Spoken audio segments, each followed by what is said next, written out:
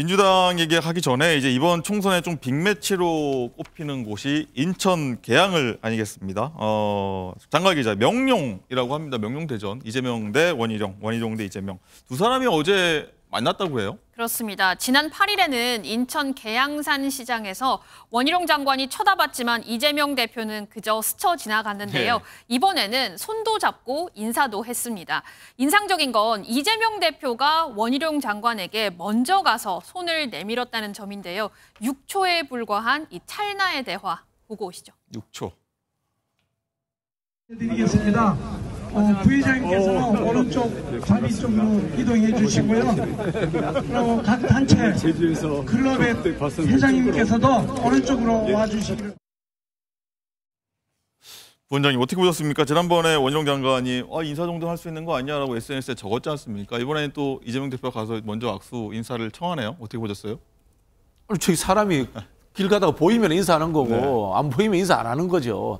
그걸 이제 SNS에 올려가지고 억지로 이제 대립구도를 만들려고 하는 참 원희룡 장관도 예 쓴다. 뭐 이런 생각이 듭니다. 그래 한번 우리가 생각을 해보십시오. 오늘도 우리가 주, 그런 주제를 했는데 한동훈 장관이 전화하면은 격려하는 거고 이재명 대표가 전화하면은 비선입니까? 이 앞뒤가 안 맞는 이야기예요. 당 대표는 다 전화하는 거거든요. 다 눈에 띄면 또 같은 정치인들끼리 또 인사하는 겁니다. 그걸 당연시 여겨야 되는데 이걸 가지고 이제 억지로 이제 명령대전 이렇게 네. 만드는 것 같은데요. 사실 어 몰래 그래서 뭐 한동훈 비대위원장이 갔다. 그럼 명한 대전 정도 되겠는데 원희룡 장관께 죄송합니다만은 지금 이제 대권 주자 지지율이라든가 네. 이런 걸로 좀 명농 대전이라고 하기에는 어, 좀 과잉으로 만들어 준 것이 아닌가. 억지로 명령대전을 만들기 위해서 이런 SNS를 가지고 대립도 만들고 한다. 뭐 저는 그런 생각이 듭니다. 네. 조정욱 변호사님 어떻게 보시는지 궁금한데 사실 뭐 정치인들이 날 정말 센 나를 세우고 비판하다가도 또 만나면 또 웃으면서 또 악수를 해요. 저번에도 이제 그 의도적으로 피했다 봐야죠. 저번에 음. 이재명 이번에는 이제 피했다? 그 그럼요. 이번에는 이제 워낙 그 공간이 좁으니까 피할 수가 없잖아요. 그러니까 이제 그 6초간 인사인 거고요. 지금 이제 우리 박진영 부원장님이 지금 뭐 명령 대전 대전까지도 아니다. 마치 이게 상대가 안 되는 것처럼 이야기하는데 아니 상대가 안 되는 사람인데 조기 축구회까지 대표가 옵니까?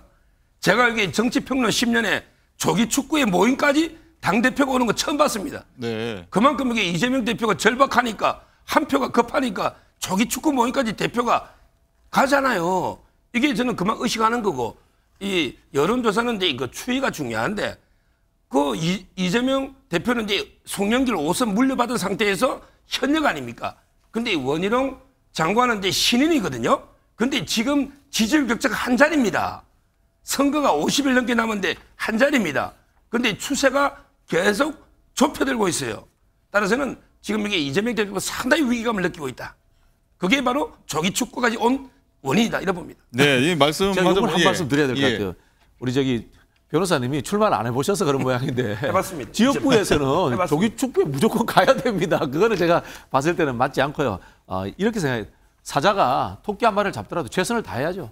저는 그런 부분에 있어서 이재명 대표도 지역구에서만큼은 한 사람의 그 출마자로서 최선을 다해서 어, 지역 발전과 그다음에 그 국회의원으로서의 역할을 하기 위해서 원희룡 장관과 열심히 이렇게 경쟁하실 거다 그렇게 생각이 듭니다. 네, 지금 자막이 나가고 있는데 두 사람 지지율이 한 자리대다 이렇게 허정욱 변호사 말씀하셨는데 어떻게 봐야 됩니까? 한 자리나 나는 거냐, 한 자리밖에 안 나는 거냐? 어떻게 부원장 보십니까?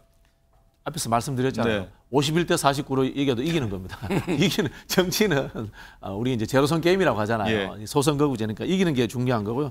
앞서 또 말씀드린 것처럼 실제로 이제 진보층들의 응답률이 높기 때문에 실제로는 좀 더 격차가 있을 것이다라고 그렇게 예측합니다. 네. 뭐 변호, 이 여론조사 나온 김에 서정욱 변호사님 일단 같은 기관의 두 달 전 여론조사와 비교해 보면 격차가 9.2% 포인트에서 8.1% 포인트로 좀 조금은 줄어들었습니까? 이게 좀 어떻게 좀 되리라고 좀 전망을 좀 해볼 수 있을까요? 그러니까 이제 추세만 보면 차이가 계속 줄어들 수밖에 없어요. 줄어들 거다. 왜냐하면 이게 이재명 대표는 현역이고 원희룡 장관은 이제 처음 도전하는 신인의 입장 아닙니까? 그리고 이제 뭐 격차가 많이 날 거라고 지금 하셨는데 그러면 이제 얼마 전에 보궐선거로 이재명 대표가 배치 달때 그때 윤형선 후보하고 이게 얼마 차이 났습니까? 별로 안 났잖아요. 그때도 제가 알기로 이게 10% 남짓 차이 난 걸로 제가 알고 있는데 근데 원희룡 장관이 윤형선 후보보다 못합니까? 그렇잖아요. 저는 앞으로 이 추세가 계속 가다 보면 이게 점점점 좁혀지다가 뭐 약간 이게 농담 섞으면 0.73 정도 이기지 않을까 원희룡 이렇게 굉장한. 접전이 될 거다. 예. 예, 알겠습니다. 좀뭐 서정욱 변호사하고 제가 500원 내기도 할 자신은 아, 500원 내기 하실 있는데요. 어, 좁혀지는 건 사실입니다. 네. 왜냐하면요. 원희룡 장관은 유명하지만은 개항에 와 있는 원희룡은 사람들이 인지가 부족하게 돼 있습니다. 아, 그런 부분에서 좁혀지긴 하는데 뭐 뒤집고 이런 거는 쉽지 않을 겁니다. 알겠습니다.